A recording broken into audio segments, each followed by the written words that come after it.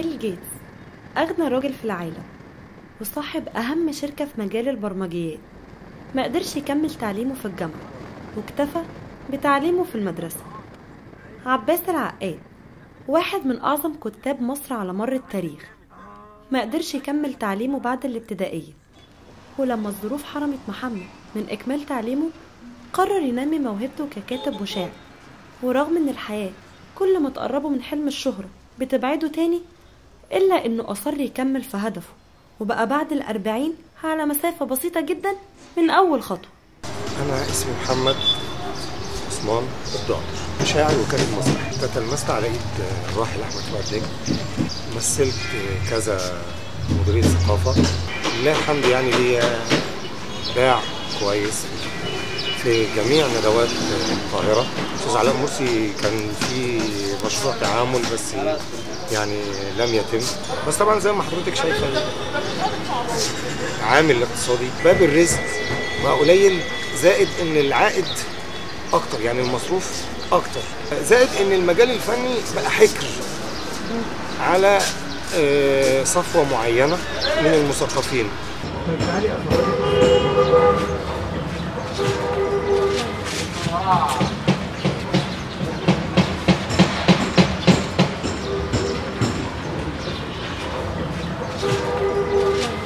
やばい音。言うと、なんか、だんだん。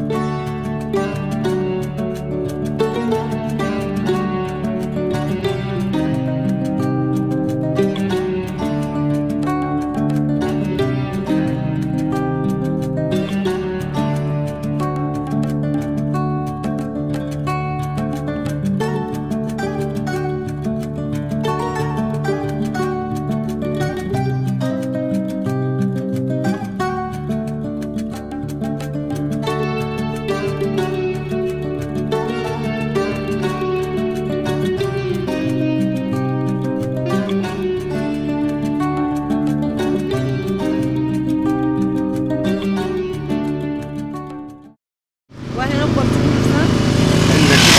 ورا دي. وإحنا كده فين بقى؟ كده أنت داخلة على الطريق بتاع المصيف مصيف بلطيم. آه. قدام مننا كده قرية اسمها الشيخ مبارك. آه. بعد منها على طول شاطئ بلطيم. كده الطريق الدولي الساحلي آه. ده اللي هو جايب من من من ليبيا لشرم الشيخ. وسينا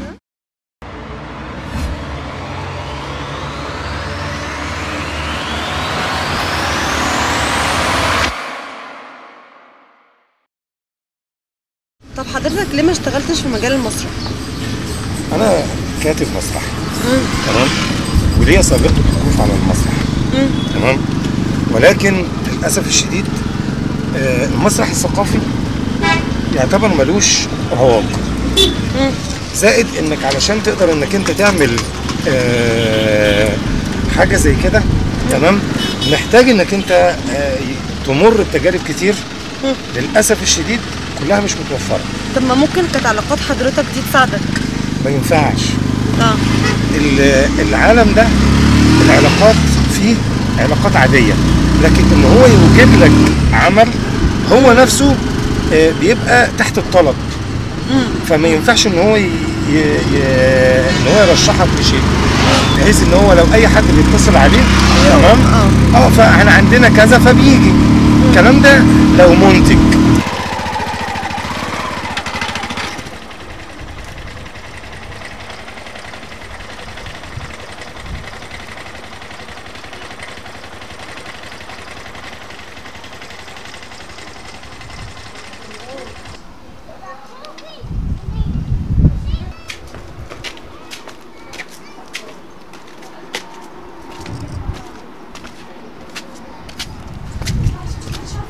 هنا بقى الطبيعة كلها قدامك آه لا المنظر فعلا الطبيعة كلها قدامك هنا البحر على طول وراك. اهو آه لانك تقدري تشوف البحر من هنا.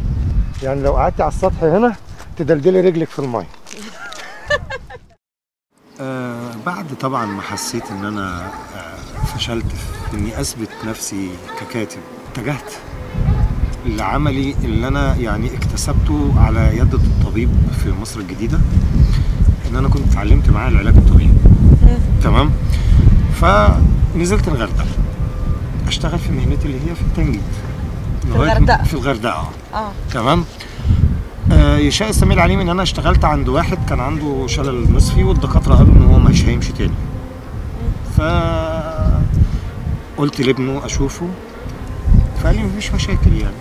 فطلعت شفته وعملت عملت له علاج. ثلاث شهور كان بيمشي. تمام؟ فقلت له أنا كده خلاص انت كده بقى إيه آه، جلسات علاج طبيعي وكهرباء آه، و وساونا ومساج وكده هتبقى كويس. فقال أنا مش هروح في مكان من لم- بيك فاخدني معاه رحنا هيلث كلاب هناك. كان هو بيدفع على أساس ان في حد مسير من المكان هو اللي هيعمل له وأنا اللي كنت بشتغل. آه تمام؟ آه. اتعرفت هناك فاشتغلت هناك وبما اني مش خريج فنية رياضية فاشتغلت براتب عامل لكن أنا شغلي مسير.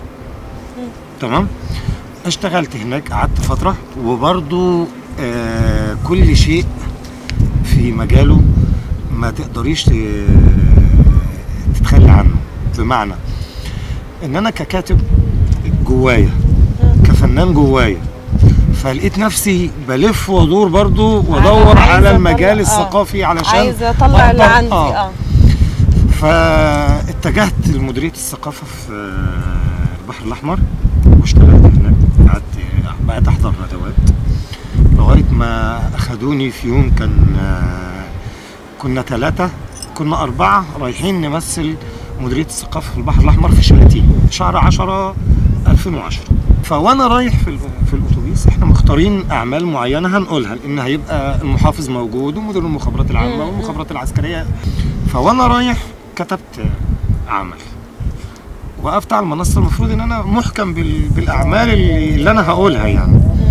ف ما لقيت نفسي اللي متحكم فيا العمل اللي أنا كتبته الجديد مش اللي إحنا متفقين عليه. يعني. ودي كانت تعتبر الشرارة الأولى أو أو أو استنتاج لميلاد ثورة لأن دي كانت في شهر 10 2010 امم شهرين بالظبط الثوره قامت. 25 يناير طيب حضرتك لما بقى رجعت الغردقة تاني؟ آه فضلت برضو شغال في ال- في المجال بتاع العلاج الطبيعي اشتغلت في العلاج الطبيعي فترة لغاية ما ال- طبعا في يوم واحد واحد واحد. السنة تمام؟ الجديدة. السنة الجديدة 2011 طبعا مشينا. كل الناس اللي شغالين في السياحة نقول 90% من اللي شغالين في السياحة اتسرحوا. السبب بقى؟ يعني كان زي ما تقول إن كان في استنتاج إن في حاجة هتحصل في البلد. آه. فالسياحة وقفت. تمام؟ فكله اتسرح. فقلت خلاص مفيش مشاكل أنا عندي الكافيه بتاعي. كنت مأجر كافيه على قدي كده في الغردقة. قلت خلاص أتفرغ له. ولكن يوم 28 يناير اللي هو كان موقعة الجمل. تمام؟ كان في موقعة في نفس في الغردقة. كان في ناس تصفية حسابات برضو كده الكافيه بتاعي راح من ضمن تصفية الحسابات. وكنت رايح الغردقة معايا فلوس. راجع من الغردقة ما معيش أي شيء. فأنا من ضمن الناس اللي وقعت في مع الثورة. فرجعت تاني للمهنة هنا. بقى في آه. يعني في مكان حضرتك بقى. آه. آه. فرجعت تاني للتنجيد ومارست حياتي بشكل طبيعي لحين ميلاد لحظة جديدة ده إن وجد.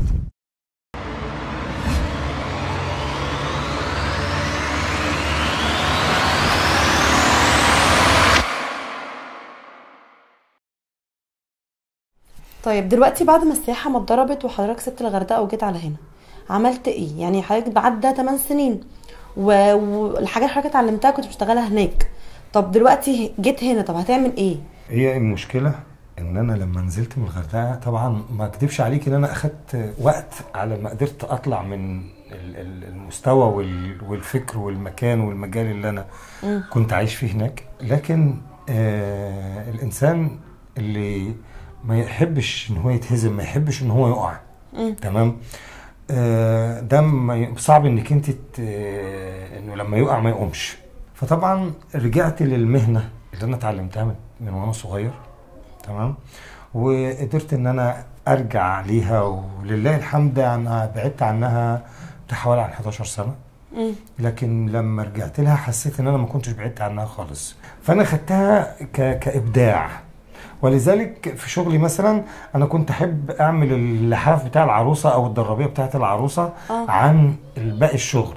دي كان أي صنايعي يهرب منها. كنت بحس إن أنا آه، ما قدرتش أدي ككاتب فبدي إن أنا رسام فنان تشكيلي. آه بتحط آه. الحاجة اللي جواك بتطلعها في ده. هتطلعها هنا. تمام؟ فقدرت إن أنا أثبت وجودي في في في المجال. تمام؟ وأنا حاليا يعني برضو بجانب الشغل اللي عندي في في المحل تمام؟ بعمل شغل عندي هنا في البيت بعمل لحافه فايبر. وفي نفس الوقت ما قدرتش إن أنا أبعد عن عن المجال. وبدأت إن أنا أرجع تاني ل آه، شغلي. وفي نفس الوقت بكتب بكتب لنفسي بقى. بكتب مجالات. آه بس لله الحمد آه، اتعرفت على مطرب عراقي اسمه فؤاد منير. فاخد مني قصيدتين.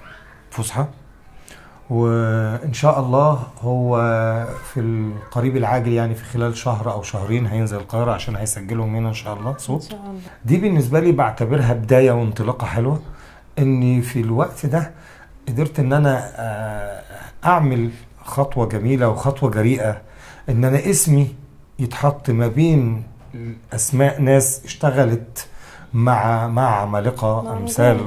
قاسم الساهر. و- فنأمل الله يعني إن شاء الله يكون شاء في الله. بادرة أمل ويكون بداية ربنا يسهل. طب حضرتك ما كنتش خايف إن أنت تاخد الخطوة دي متأخر؟ يعني بعد مشوارك ده كله. آه، هي آه الفرصة طبعا بتيجي في أي وقت لكن أنا بتكلم على بداية حضرتك من ساعة ما رجعت. بالنسبة للكتاب ماهوش ال ال الوقت مش مش مش مقياس. المقياس ده يقاس للمطرب أو للممثل تمام؟ لكن المقياس الحقيقي للكاتب هو بيبقى النضوج ال- الفكري. ممكن ما ممكن ممكن ينشهر في ممكن يتعرف وهو عنده 60 سنة. مش مشكلة. المشكلة عنده إن هو لما يقدم عمل يقيد في ذاكرة الفن. فكل ما نضج بالظبط كل, كل ما. كان. أجمل وأرقى وأحسن. بهية. جوه القلب الساكن جوه عيون البنت بهية لحظة حب. جوه عيون البنت بهية إحساس عالي إحساس غالي. إحساس يحضن كل الناس إحساس يشكي كل الناس. لحظة ظلم. تعرف يابا؟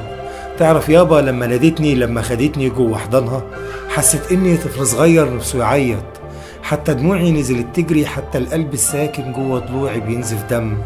يحضن حب يحضن شيء الاتنين عاشقين. قبل ميلاده قبل ميلاده يعرف إن أبوه ده عقيم.